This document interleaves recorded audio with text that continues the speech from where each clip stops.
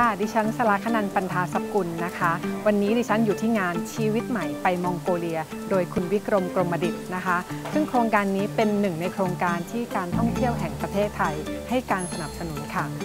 ขบวนคาราวานนะคะ ตลอด 6 เดือนกับอีก 13 วัน เป็นสิ่งที่น่าสนใจอย่างมากนะคะ วันนี้เราจะพาไปดูกันค่ะว่ามีอะไรน่าสนใจภายในงานติดตามกันเลยค่ะ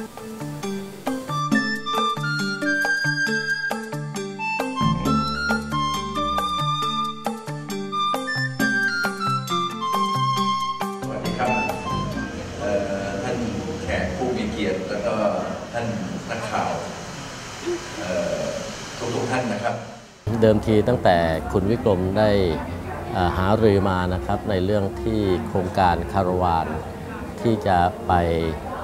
ในกลุ่มของประเทศอาเซียนนะครับแล้วก็ไปจีนเนี่ยเมื่อ 2 ปีที่แล้ว เราก็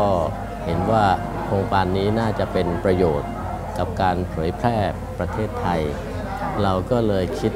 ที่จะให้การสนับสนุนในการที่จะจัดทำสี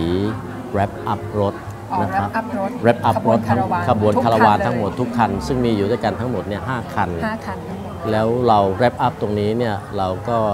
ให้ทำเป็นตรา Amazing Thailand นะครับค่ะแล้วก็รูปของแหล่งท่องเที่ยว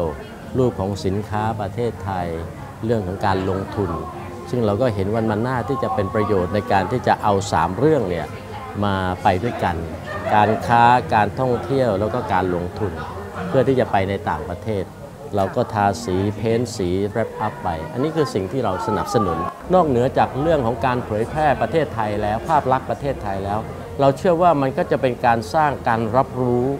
ที่จะให้คนจีนเนี่ยเขารู้จักประเทศไทย เอ๊ะประเทศไทยสวยงาม colorfully colorful อยากไปเที่ยวประเทศไทยใช่มันก็ทำให้เกิด motivation อ๋อค่ะในการที่เดินทางมาท่องเที่ยวประเทศไทย อันนี้แหละครับเป็นสิ่งที่ผมคิดว่าเอ่อคุณวิคมก็ได้ช่วยเรื่องของการท่องเที่ยวเอ่อไปได้เยอะทีเดียวเลยนะครับอันที่ไปนี่มีการวางแผนร่วมกันกับภาครัฐด้วยใช่ด้วยหรือเปใช่ล่าใช่เพราะว่าเราจะเลือกเมืองเออต่างๆที่คิดว่าเป็นประโยชน์นะฮะแล้วก็ทางภาครัฐก็เอ่อสรุปกับเรา เมื่อสรุปกับเราแล้วเขาก็ไป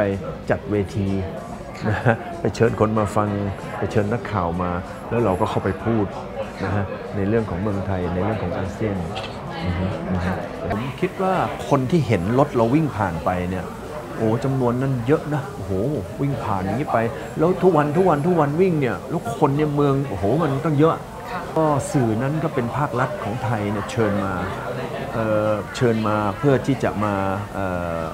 ฟังแล้วก็นำข้อมูลเราไปไปไปเผยแพร่